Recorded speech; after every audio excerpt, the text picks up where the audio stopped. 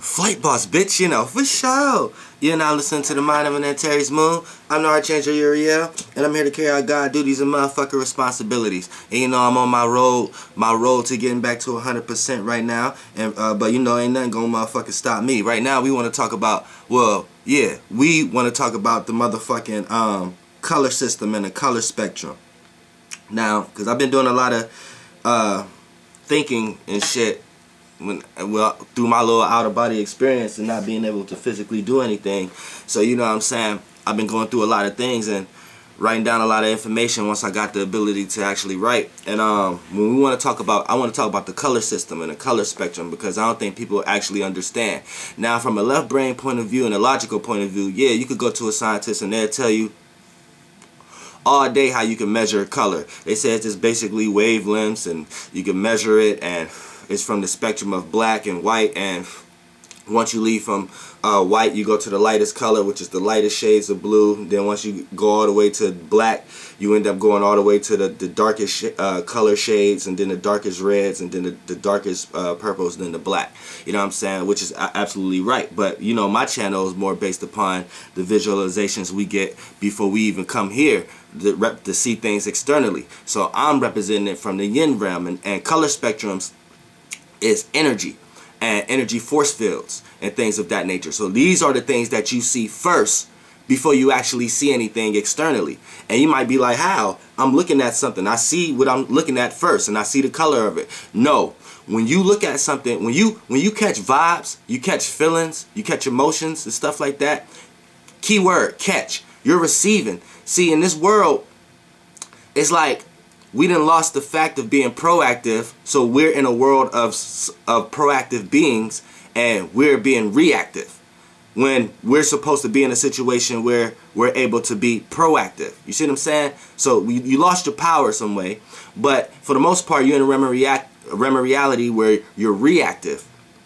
So you're reacting. So you re the, the word re frequency goes into so many mechanisms so you're to even react, you have to receive. See, re is gonna and redo to experience and not to experience that same experience again. See, all this is tied to the soul. All this is all this is tied to the emotions and feelings. And when you realize that's opening your third eye. So when you see there, you actually pick up feelings and emotions that's actually seeing colors. Like, for an example, say you get real angry, you get real mad about something, right? And you be like, oh, fuck, all I seen was red. That's all you've seen.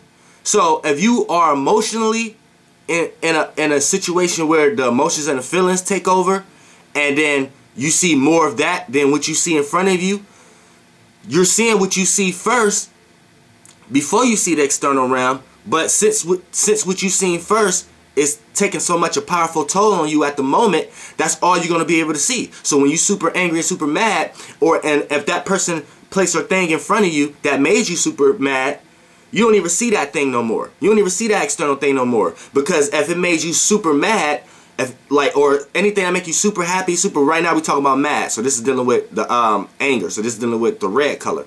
So if it made you super mad, not just little mad, super mad, then the feelings and emotions is more is is more prominent now than the left brain. The right brain is more prominent than the left brain. So if you just little mad and then you can logically look at when uh, the person, place, or thing that made you mad, then the the feeling of it, you still seen that first. You still seen red first, but you're just able to see clearly uh, the external realm, which is still last. You see what I'm saying? From the frequency, vibration, then the energy. The energy is the external realm that we're in right now. You know what I'm saying? Where things uh, from the it got derived from the frequency experienced through the vibration and manifested through the energy. And now you can externally see it. You saying? My soul group probably stand with me, but if you're new to my channel, I, let me, I, I didn't smoke the blunt, you know what I'm saying? Let me, let me, let me get back to reality so I could pinpoint things a little better. Alright, now, um, for an example, still, when, when you in a situation where, um, you're, you're angry and all you see is red, right? That's the and then that's the first thing you see. If that if the energy of the feelings and emotions is more prominent, that means you're super mad. Some some impact your emotions and feelings way more, or or your right brain way more than your left brain. then boom, all you're gonna see is that realm. That's why you be like, all I see is red. Or if, if, a person say you're super happy or something like that, you you might see all I seen was colors, all I seen was bliss, all I seen was there's a color for that. You see what I'm saying? So, and when we get into this video, I just wanted to do a quick synopsis on things. Like when we get when we get into this, um, each sign is automatically carrying a, a vibration energy. I mean, a, a vibrational color. You see what I'm saying? So a lot of times, this is why, as me being an Aries, Aries color naturally is red. So a lot of times when I'm going out to do something that I desire to do or passionately want to do, it's good for me to wear red.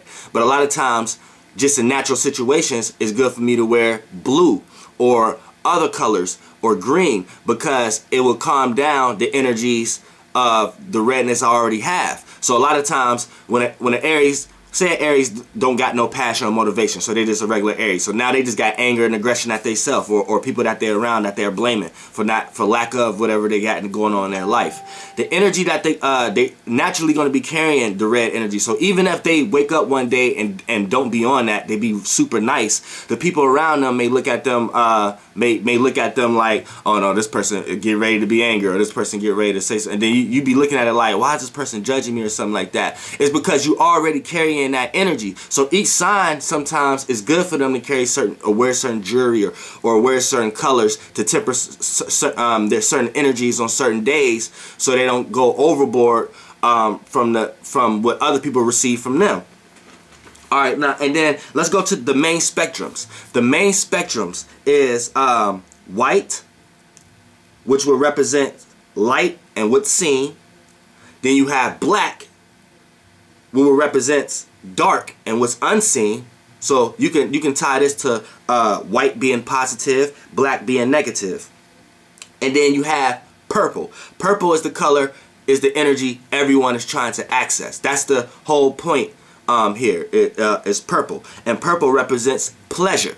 You know what I'm saying? Now, um, positive and negative. There's no such thing as right or wrong. So you have to use you have to use white, light, and uh, what's seen, and you have to use and, and positive, and then you have to use black, dark, what's unseen, and negative in order to uh, bounce the vibration frequency in order to utilize a purple color. So you have to you have to you have to utilize positive and negative energies. For an example, you may be trying to live a positive way, but you may have somebody negative in your life. So you may have to do a negative attribute in order to, in order to have a positive outcome of that situation. See, you have to look at things differently. You see what I'm saying? So purple is the color that is the whole key. So if purple represents pleasure, you know there's a lot of different ways people get there. A lot of people do evil things. If, if we want to talk about a realm of reality, a lot of people do evil things to get to their pleasures, manipulative things to get to their pleasures. A lot of people do um, um, grateful things for their pleasures. A lot of people do uh, helpful things to others for their pleasures and things of that nature. But we know the ultimate thing is to get to the pleasure. And pleasure is, rep is represented by the, the energy color purple. Uh, you know what I'm saying? And pure, pure. Um, all is going to be tied to the P and frequency of the uh, of, that kind of energy that's going on. Prosperity. You know what I'm saying? Um, now, um, also, this is why anybody who, who who's into music who use the frequency of the purple color is is is long lasting. It's forever lasting. That's what we got. We purple strains, uh, Prince, Purple Rain. You know what I'm saying? Things of that nature popularity. You know what i'm saying? Prestige uh all this pleasure. Now now the max now when you look at this realm of reality what's the maximum pleasure here? Because this is the goal as being uh, uh as energy. I'm not gonna say as humans and we're gonna talk about all that but as far as energy energy itself the goal the goal of energy is pleasure.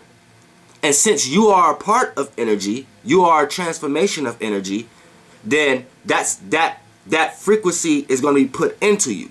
So depending on your your natal alignment, your natal chart, and things of that nature, that's going to the energy within you is going to is going to point you into the direction of what you're pleasured by, depending on your signs and stuff. But you're always reaching pleasure.